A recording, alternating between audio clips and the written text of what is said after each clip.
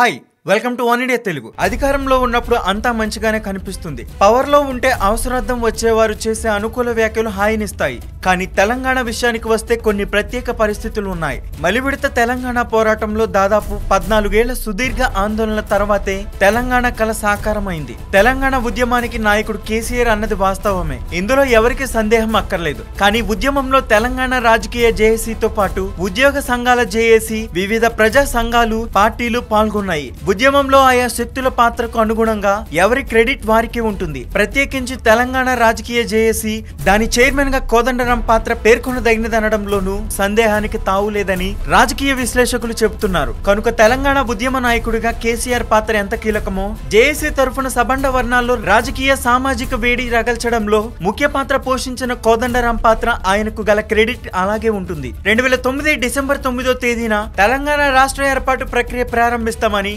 ప్రకటించిన కేంద్రం తర్వాత వెనుకడుగు వేసింది. కేంద్రం మడత పేచీలను నిలదీసేందుకు ఏర్పాటైన తొలి జేఏసీకి అసెంబ్లీలో ప్రస్తుత విపక్ష నేత జానారెడ్డి తర్వాత తెలంగాణ ఉద్యమం రాజకీయాలకు అతీతంగా సాగాలన్న సదుద్దేశంతో ప్రొఫెసర్ కోదండరాం చైర్మన్గా రాజకీయ ఐక్య కార్యాచరణ సమితి జేఏసీ ఏర్పాటైంది. ప్రారంభంలో జేఏసీలో దాదాపు అన్ని పార్టీలకు భాగస్వామ్యం ఉన్నది. తర్వాత తర్వాత టీడీపీ బయటకు వెళ్ళిపోయింది రెండు వేల పది ప్రారంభంలో కేంద్రం తెలంగాణ ఏర్పాటు చేయాలా వద్దా అన్న విషయమై జస్టిస్ శ్రీకృష్ణ కమిషనర్ను ఏర్పాటు చేసింది. దీంతో ఒకంత స్తబ్దత ఏర్పడింది. తదుపరి ఎలా ముందుకెళ్ళాలో తేల్చుకునే పరిస్థితుల్లో రాజకీయ నాయకత్వం ఉన్నప్పుడు తెలంగాణ జేఏసీ చైర్మన్గా ప్రొఫెసర్ కోదండరాం మిలియన్ మార్చ్కు పిలుపునిచ్చారు. ఇలా మిలియన్ మార్చ్ నిర్వహణ ద్వారా తెలంగాణ ఉద్యమ వేడిని సజీవంగా నిలపడంలో జేఏసీ చైర్మన్ కోదండరాం ఎంతో కీలక పాత్ర పోషించారనడంలో సందేహాలకు తావులేదు తాజాగా సింగరేణి ఎన్నికల్లో టీబీజీకేఎస్కు ఓటేయొద్దని కోదండరాం పిలుపునివ్వడమే సీఎం కేసీఆర్కు కోపం తెప్పించినట్లయింది.